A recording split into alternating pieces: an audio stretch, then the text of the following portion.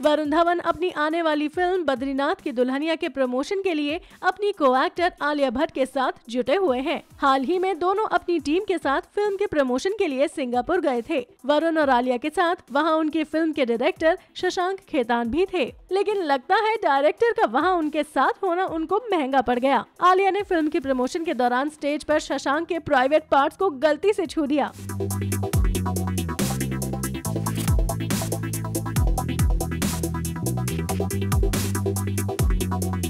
खैर वैसे लगता है कि अभी तो आलिया को खुद भी इस बात का पता नहीं है। आलिया प्रमोशन में ब्लैक कलर की प्रिंट फ्रॉक पहन कर गई थी, जिसमें वो बेहद हॉट दिख रही थी।